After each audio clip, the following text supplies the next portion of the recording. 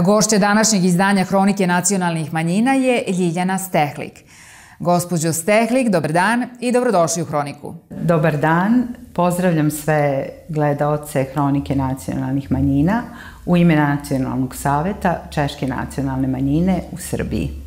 Prema popisu stanovništva iz 1948. godine na teritoriji Republike Srbije živjelo je 6760 pripadnika češke narodnosti, a prema posljednjem popisu iz 2011. kao pripadnici te zajednice izjasnilo se 1824 građana Srbije. U Beogradu, prema nezvaničnim podacima, ima oko 10.000 ljudi sa češkim prezimenima. Šta je po vama glavni razlog zbog kojeg se pripadnici češke zajednice – deklarišu kao Srbi.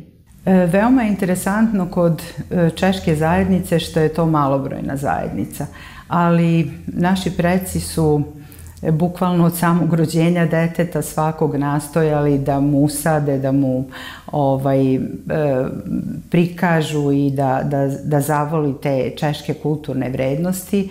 Ja se sećam da je moja baka, ne znam, u spavanku mi uvek pevala na, na češkom jeziku. E, veliki deo običaja je zadržan upravo zahvaljujući crkvi, jer je veliki broj e, Čeha koji je došao na ove prostore katoličke veroispovesti i u, u to doba su crkve bile institucije koje su uspele da ih okupljaju i da ih e, na taj način e, i, i, i edukuju i zadrže na okupu. E, pa čak postoji jedna interesantna priča o tome kako su ih u jednom mestu u selu, velikom središtu u blizini Vršca nazivali knjiški narod zato što su oni imali običaj i ovaj, to se znalo da nedeljom svakoga dana, sa bib, e, svake nedelje idu sa Biblijom e, na molitvu u crkvu.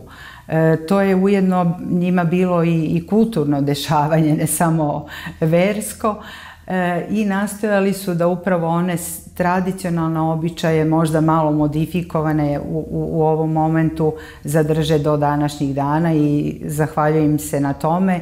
I upravo je naš rad i motivisan time da, da, da pokažemo da je nama stalo do toga, da njihov trud i, i toliko zalaganje na vaspitanju, na obrazovanju nije bio bez ikakvog efekta.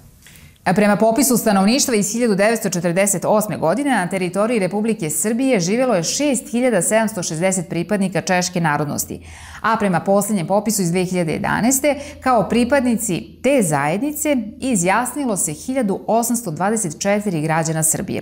U Beogradu, prema nezvaničnim podacima, ima oko 10.000 ljudi sa češkim prezimenima.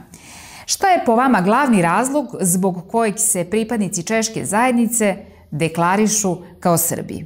Mislim da je osnovni razlog u tome što su se Česi na ovim prostorima dobro osjećali. E, isto tako jedna od priča koja postoji je ta da kada je prvi ovaj Čeh doseljen negde na prostor Južnog Banata, tada je to bila vojna granica. E, oni su praktično došli sa nekih prostora iz Rumunije, iz Karpata, gde za život bilo veoma teško, gde, gde su veoma teško krčili tu šumu i mogli da naprave svoja staništa.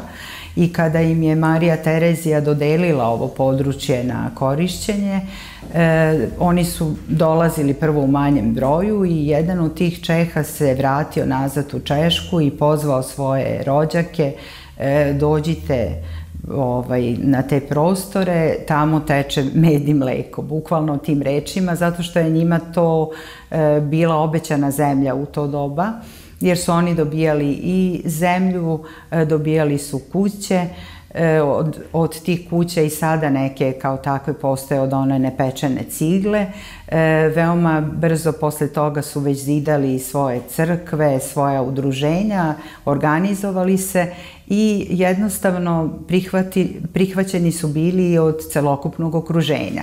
E, zatim dugim nizom godina, s obzirom da je to skoro 200 godina, kroz mešovite brakove se na neki način taj identitet i, i gubio i smatrali smo da je naš osnovni motiv da, da osvestimo e, kod tih ljudi značaj toga da se opredele kao Česi.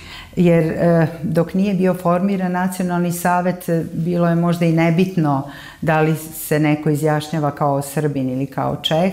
E, prava u, u domenu nacionalnih manjina nisu bila na tom nivou na ko, kome sada jesu, tako da nisu ni bili svesni benefita koje iz toga mogu da proizađu, pa je zadatak nacionalnog saveta da upravo radi na tome a želela bih ovom prilikom isto da pomenem da smo odmah po e, konstituisanju u dogovoru sa OEPS-om ovaj, e, imali organizovan seminar na, na našu i njihovu inicijativu e, vezanu za ovaj, edukaciju baš u domenu e, značaja aktivnosti u okviru nacionalnog saveta, u domenu toga kako uključiti mlade ljude u rad nacionalnog saveta i e, edukovati i ljude iz novog saziva šta e, znači i koliko je to važno e, biti pripadnik Češke zajednice, a samim tim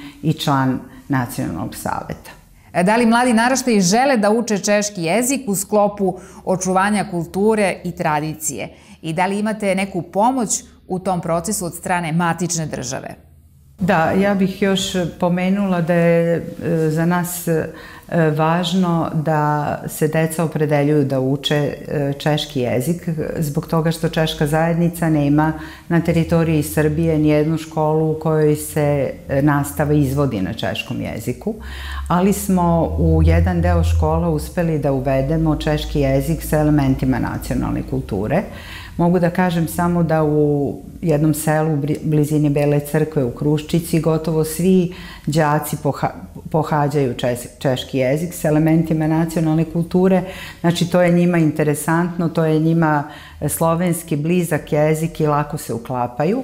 A osim toga tu imamo i veliku pomoć od strane Češke države E, zbog toga što Ministarstvo prosvete, čini mi se više od 10 godina za redom, upućuje učitelja češkog jezika na ove prostore, koji ima zadatak da edukuje decu ne u redovnom nastavnom procesu, nego u van nastavnim aktivnostima, gde oni osim izučavanja jezika, što je izuzetno bitno za, za e, pojam nekog e, nacionalnog integriteta, E, on učestvuje i u svim kulturnim dešavanjima, čak ih i, i inicira, podržava i uvek se pojave neke nove ideje, prenosi nam neka iskustva iz Češke koja mi zaista koristimo i iz toga proizilaze različiti projekti e, na koje smo mi veoma ponosni.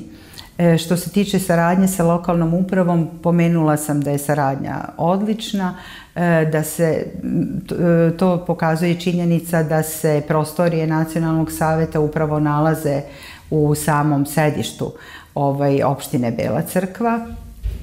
E, osim toga, nacionalnom savetu ovaj, pomaže i pokrajinski sekretarijat i, i ministarstva e, kako preko konkursa, tako i direktno donacijama sredstava. I isto tako ovaj, trudimo se da sarađujemo ne samo sa udruženjima koja ono imaju u nazivu prefiks češki, jer su uglavnom naše udruženja nazivaju češke besede, pa imamo e, ovaj veliki broj do dvadesetak tih čeških beseda, već sarađujemo i sa ostalim nevladinim organizacijama tipa Škole Plus, sa kojom smo pokrenuli projekat Dečeg hora Radost, koji je sada imao premijerno svoje izvođenje na danu nacionalnog saveta i nastojimo da celokupna e, šira zajednica, nevezano za to da li su češke ili druge nacionalnosti, e, upozna našu kulturu, našu tradiciju i mislim da je osnovni motiv to da je potrebno da se upoznamo, da bi se razumeli, da bi se voleli i da bi ovaj, i dalje živeli u, u slozi. Gospođo Stehli, hvala vam što ste govorili za hroniku nacionalnih manjina. Hvala i vama najlepše. Meni je bila posebna čast da budem danas vaš gost i da imam prilike da bolje predstavim Češku nacionalnu zajednicu, jer je u okviru naše zajednice hronika nacionalnih manjina zaista izuzetno gledana izuzetno praćena u, u, u celoj populaciji.